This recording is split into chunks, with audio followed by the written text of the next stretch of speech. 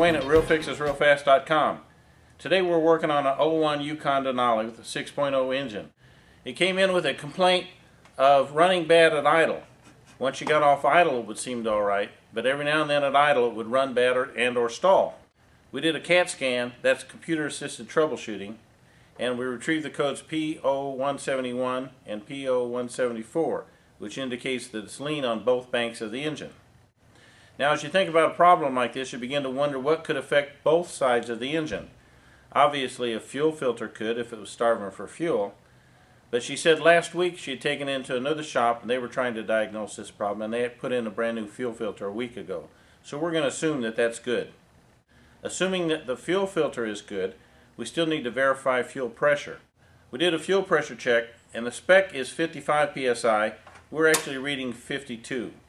Now I'm going to take that as good now because there is always a variance of a few pounds between your gauges and your instruments. So I'm going to consider that the fuel delivery is not the cause here of the both banks being lean. Another thing that could cause both sides of the engine to be lean could be a dirty or a malfunctioning mass airflow sensor. So we took this one out and when you look on the inside you can see that the elements don't look too bad. They don't look distorted, fuzzy, or extremely dirty. We did clean them with a design mass airflow sensor cleaner. So at this point, I'm not really suspecting a fuel delivery and I'm not suspecting the mass airflow to be bad. So the next thing is some type of unmetered air sneaking into the system. So what we want to do is see if there is any unmetered air sneaking in. The best way to do that is to smoke the engine and see if there's actually smoke escaping because then it would be taking the air in at the same place. So here's how we smoke this engine. We're just using an old-fashioned Vacutec there are a lot of different smoke machines out there. You can use whichever you have. Now you need to be able to hook your smoke machine up to some type of a vacuum input. Here probably the easiest place is the fuel pressure regulator. Here's the fuel pressure regulator. I'm simply going to take the vacuum line off of that and I'm just going to use that as my source for the smoke to be able to enter the intake. Now it's going to go right in directly into the intake. Now our smoke machine actually just has a remote button that you push and it starts making the smoke. You need to be able to close off all the places where the smoke could escape. One is the breather. We like to just use a plastic hand glove for a couple reasons. One, it does seal it, but also it'll pump up so that you can tell that you're actually putting pressure into the system. Now we just let the smoke machine run and start looking for it.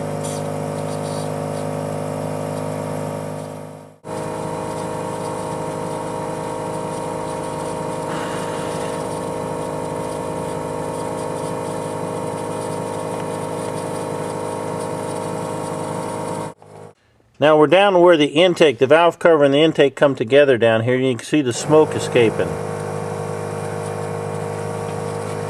What I like to do is blow it away and then watch for it to come back.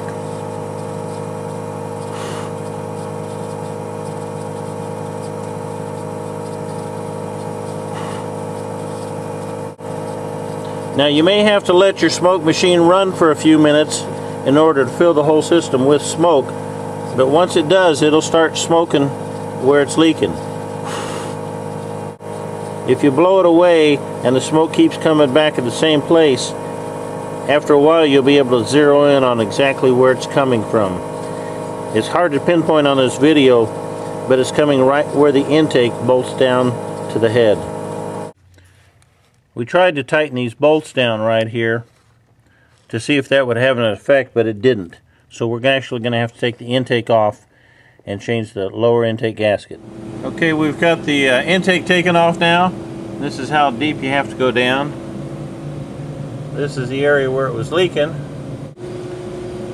Now we've got the intake off on the ground and this is the area right here where that gasket is just flattened out. Now we'll take the old gasket out, but before we do, we'll, there's the new gasket. And if you look at this, right here, there's a nice little ridge. And that ridge just gets flattened out, and that's why it leaks. If you compare the old gasket, let me turn that one open. You can see how flattened that out it is compared to the new gasket. So in this case, we found our evidence. At idle, the throttle plate is closed, So the vacuum is strongest under the engine, and in the intake, that's where it's going to be actually sucking air. So you know we need to look for the evidence to find the problem. We had codes lean on both banks. We had a description of a problem that indicated that it was lean. In other words, at idle, it would run bad, but not off, idle, and sometimes it would stall. That's usually typical of some type of air leaking into the system. The mass airflow was good, fuel pressure was good. We smoked the engine. We can see more evidence. The smoke is leaking out between the intake and the head. So all the evidence has led us to the problem, which is the lower intake is leaking.